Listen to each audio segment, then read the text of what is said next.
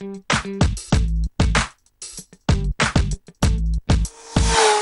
when we talk about bikes in India, DSK Hyosung made waves last year. And at the Auto Expo 2014 they've come up with the new Hyosung Aquila on the go. So Rahul is here again with us. He's the bike expert by Auto Build. So he'll tell us, uh, you know, what this new cruiser is all about.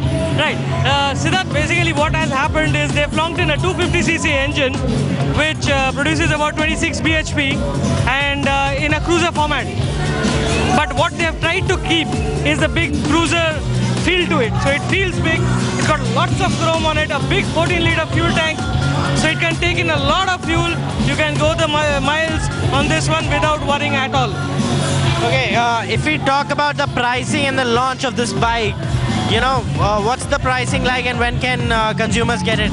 Right, uh, the bike is cost uh, about 2.5, a little over 2.5 lakhs, and I think it's good value for money because you get a lot of kit with this bike. All this chrome footboards, are like a pseudo-American brand, so you know you are getting that feel at a lot less money.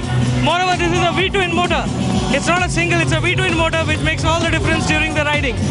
So I think it's good value for money, and the way it looks, I think it looks fantastic, and it should do a good job for racking up the sales figures at uh, DSK Hyosung. DSK Hyosung has, uh, you know, really made waves in the Indian market and they've kind of churned out numbers also, especially because of the pricing that they've done on their bikes. And more and more bikers are enthusiastic about, you know, bigger engine bikes. So do you think we'll see a lot of cruisers from their stable or we're going to see a lot of super sport bikes also coming out very soon? What they're trying to do is get the another new motorcycle called the 250N. The 250N is a naked sports bike, much like the FZ. We can call it the Yamaha FZ, but it comes with a 250cc single cylinder, and that will enable them to price it right. So, with the pricing right, they can do a lot with that particular motorcycle.